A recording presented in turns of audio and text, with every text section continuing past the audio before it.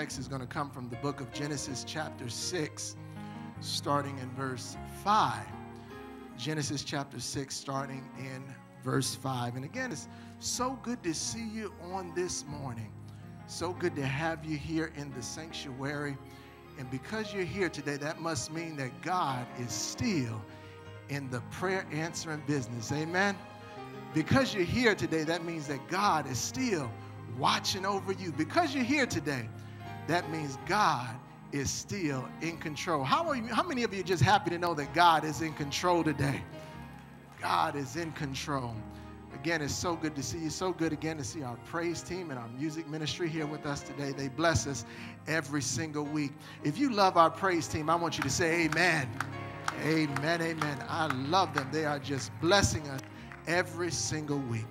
I'm going to ask again if you have your Bibles, you can remember this text in Genesis chapter 6, starting in verse 5. And so, again, during the week, I like to give you a verse to just kind of study during the week. But today we're going to talk and speak from the subject of how to live with courage. How to live with courage. You know, when I think of the word courage, I think of Noah in the Bible. If you read the text in Noah in Genesis 6, or even if you haven't, again, I'm encouraging you to do that this week. In the Bible, Noah is a wonderful example of a courageous man who did exactly what the Lord told him in spite of the difficulties that would accompany all that he was being asked to do. In essence, Noah was given an assignment. And the truth is, every year, God gives us a new assignment. See, when God allows us to start something new, there is always a purpose and a path that we must follow in order to step into the destiny that God has prepared for us on the road ahead. If I can give you a quick review of the story of Noah in the Bible, God gave a description of the earth. It talks about that when the Lord looked at the earth in Noah's day, it was nothing like his original creation. Mankind had turned away from the Lord and had become corrupt and had become evil. And so God saw that things were going in the wrong direction in the world. And everybody in that day, the Bible says, all flesh had corrupted their way upon the earth. Basically, everybody was messed up. See, the earth was filled with violence and consumed by sin and immorality, and the world was in moral corruption. And so, one theologian characterized it this way that God became heartbroken. He had created this beautiful earth and he had provided everything that mankind needed. And, but now human society was contaminated by evil. And, and the Bible says in verse 6 that God became so grieved that he was sorry that he created them. So God had to do something. And, and so the Lord decided to send a worldwide flood. Now, although some people may think that a loving God would never wipe away every living thing on the earth, we must remember that the Lord is also holy, the Lord is righteous and just, and so ultimately God has to work to make things right. And see, sometimes He's got to bring some rough times to the world to bring people back to Him. Some see that today. Some say they see that today. However, in the midst of his judgment, he extended grace to Noah and his family by providing for their salvation. They alone, along with two of every animal of each kind, safely ride the flood out in what is famously known as a big boat, famously called an ark. So, what God so, with God doing all of this around Noah and working through Noah, Noah had to do what? Noah had to have some courage. And see, and God, in the midst of what he was doing on this earth, gave Noah two tough instructions. Now, what were these instructions that God gave Noah? Number one, he said, You must obey me. And he said, Number two, he said, You have to leave the outcomes to me. Now, it may sound easy on its surface, but, but that last part, leave the outcome to me, is not an easy thing to do. And I believe many of us struggle with that today, leaving the outcomes to God. You know, it's hard to pray to God and not think about what we, what we can do to get the objects of our prayers answered quicker. It, it's hard to live in times like these when you don't know what's real and what's not, or, or what's right and what's wrong. It's, it's hard to navigate today and totally leave the outcomes to God. But Noah had that struggle, but, but he invested his time, his money, and his effort into building an ark, into building a safe haven for his family. And he would undoubtedly be ridiculed. I would say he had to have some doubts about God even through what he was doing. But ultimately, he had to have the courage in order to receive protection, provision, and favor that God had already ordained for his life.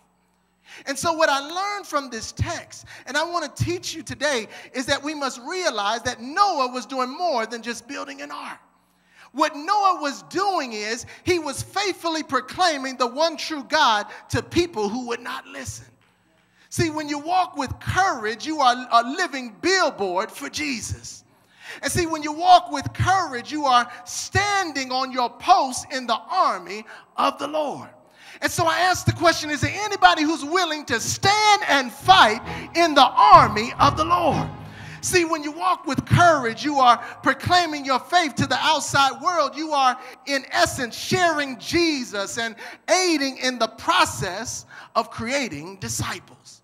See, when you walk with courage, you are showing the world that you are only responsible for the sowing and God is responsible for the increase.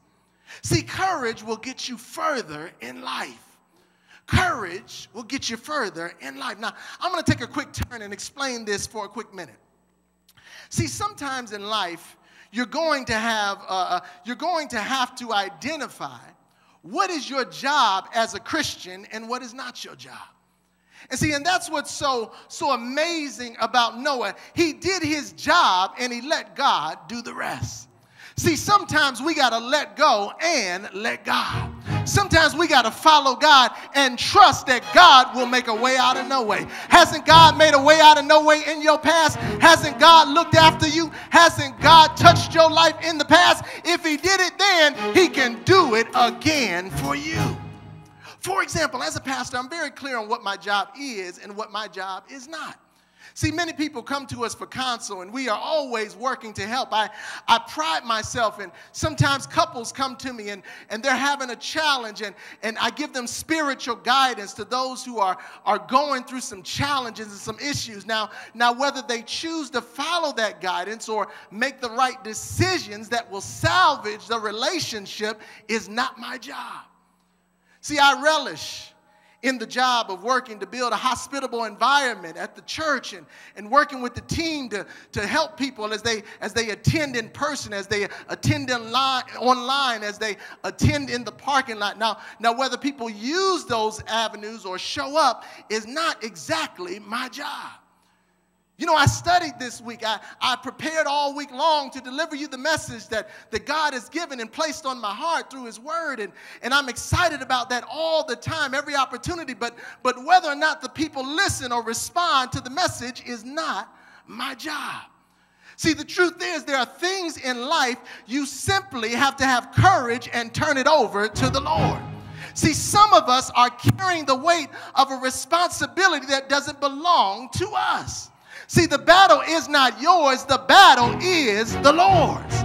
See, God has assigned us a role. He's assigned us a role, but the results and the outcomes belong to Him. See, now there are going to be some times, let me talk to you for a moment. There's going to be some times in life where you may feel like God is not doing His job on, on the outcome. Sometimes you're going to feel like God is not there. Sometimes you're going to feel like God is silent in your situation. Where, God, are you in the midst of what I'm seeing? Why isn't the cure here? Why, why aren't things better yet? Why isn't it coming through yet in my life? But, but you got to do this. Don't lose courage. Don't lose courage. You may feel frustrated, and, and that's okay. But when you feel like you're at that point, you got to go to the Mark 4 parable. Let me teach for a minute. You got to go to the Mark 4 parable. Now, Mark 4, if you're a note taker, in Mark 4, it talks about a farmer planting a seed in the ground. And it says, whether the farmer is working or sleeping, the seed grows anyway. And see, and what you must remember is that God is always at work when we aren't. See, while we're sleeping, God is working. While we're away, God is on the job. See, what if God is working some amazing things out through our church and through everyone, even though everybody isn't here at one time? What if God is working in your family, even when it feels like you have no hope in surviving? What, is, what if God is doing something awesome, even through COVID 19? What if God is expanding the borders of His church by splitting the church attendance for a little while to, to online, to in person, and to in the lot? What if the very time that we're going through, God is working it out for something better to happen in the future. What if it at this very time when you see no results in the, me, in, in the immediate realm, God is preparing for your provision, your safety, and sustenance in the long run? See, that's why courage is so essential because you never know what God is up to. So we got to remember our job is to plant the seed of obedience and trust God's timing for the results. And see, that's what's, what walking with courage is all about. That's what saved Noah's life, and that's what will save your life. What will save your life is walking with courage. See, Noah had the assurance and he had the belief that the Lord was always with him. I want to ask you do you know that the Lord is always with you? Do you know that the Lord walks with you and talks with you and leads you along the way? Do you know that the Lord is always guiding? Do you know that the Lord is always in front of your feet? Do you know that the Lord is always creating a path for you? So I need you to never stop believing that no matter what you go through, God is with you. Somebody needed to hear that. No matter what you're going through, no matter what the challenge is, no matter what you see in your life, I want to tell you God is with you, God is for you, and God is going to work it out. See, the Bible said Noah walked with God. Noah walked with God. Walking with God encompasses the belief that He is with you. And see, and we are convinced that the Lord is with us, we'll have the courage to tackle whatever comes our way. And we'll have the courage to do all that God has called us to do. See, when you're walking with the Lord, we are actually stimulated by His presence. And that, in essence, boosts our courage. See, the more He built the ark, the more He was following God. See, he knew, and, and, must, and we must always know that if God brought you to it, he will surely bring you through it. That's what you got to believe in your life. If God brought you to it, he'll surely bring you through it. See, when God assigns a task, he also provides the strength to accomplish it. Because the truth is, and I want you to remember this, and I, I said it earlier, and I can't say it too much, that God is faithful. God has been faithful in your life, and God will be faithful in your future. I want to ask you is there somebody in this place that will believe with me that God is faithful? Is there somebody that can just wave the hand and attest that God has been faithful in your past? And is there somebody that can believe it ahead of time that God is going to be faithful in your future? And so, just as he's done in the past, if he puts it in front of you, he'll always assist you. He'll always assist you. So, what does that mean to you? What does that mean to me? Well, it means that if you keep building your ark, if you keep following the Lord's instruction, you ultimately will find favor with God.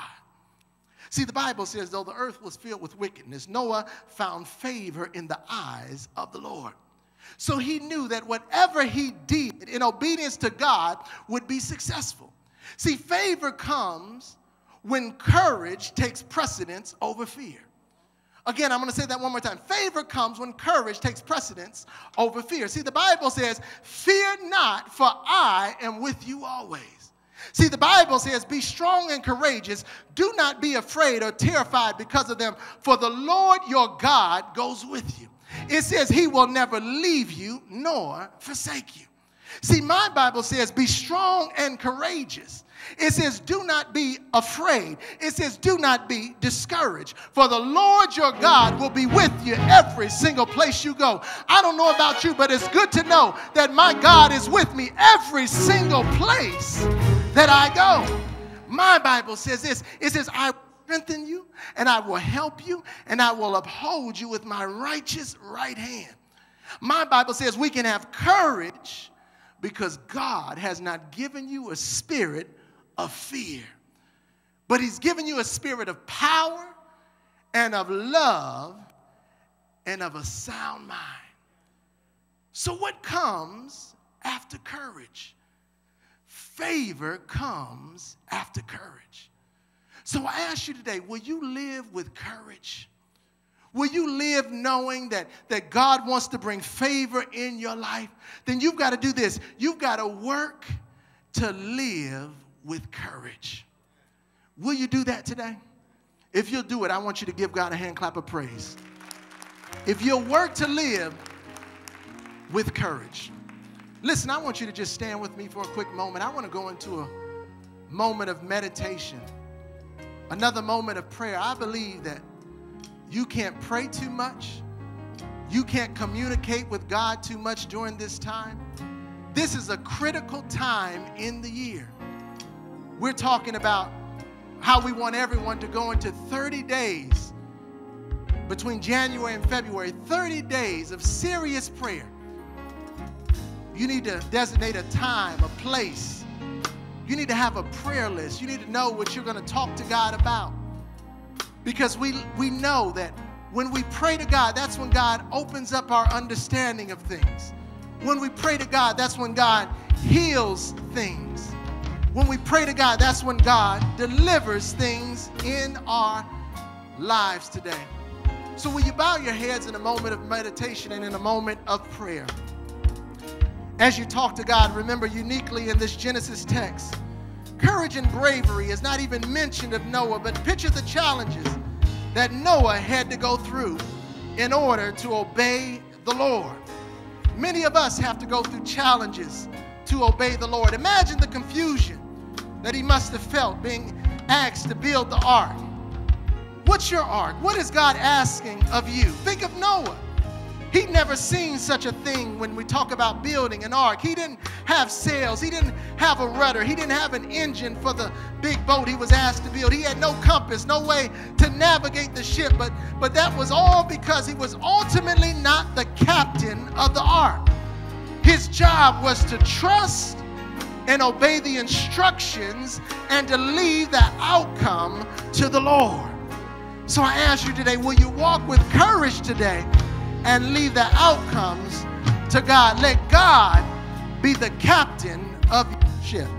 Heavenly Father, we just thank you for your word. We give you all the praise and the honor today. I pray for courage upon all those that hear my voice today. I pray for courage upon your people here today. We thank you, God, that you can give us the spirit of courage in our lives if we follow your words and follow your way. Thank you, God, again for your protection, for your provision. We thank you for speaking to our minds, our bodies, and our souls today. We give you all the honor, we give you all the glory, and we give you all the praise. In Jesus' name we pray. And all God's people said, Amen and amen. If you receive it today, I want you to give God a hand clap of praise today. And listen, before I go, I want to make sure that everyone listening has the opportunity to Make sure that Jesus is Lord over your life. I want to know today that you don't leave this place without having an assurance that if you were to lose your life in the next day or so, that you wouldn't know where your destination is. We believe that if you accept Jesus into your life and believe that he was rose from the grave, that he rose from the grave on the third day after being crucified, that he did that to pardon your sins. He was the substitute for this sinful life that we were born into.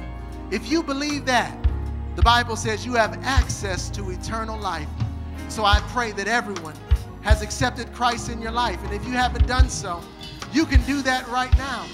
There's a prayer that we always pray, and let's bow our heads and we can just pray that prayer silently together. It basically just says, Jesus, I repent of my sins, come into my heart. I want to turn my life over to you. I believe that you died on the cross for my sins and rose from the grave. And the Bible says if you pray that prayer and ask God to have Jesus be Lord over your life, the Bible says you are saved. If you prayed that prayer for the first time, let us know about it. we want to show you the next steps. You can call the church or you can go to our website at mzov.org. We know and believe that Jesus is Lord over our life today. We proclaim Jesus. There's witnesses all in this place today that are proclaiming Jesus today. If you proclaim Jesus, I want you to give God a hand clap of praise today. And also to our online viewers, again, we ask again that make sure you go to our website and sign up with us, and we'll show you the next steps. We'd love to have you, and we love you and appreciate you. And we also ask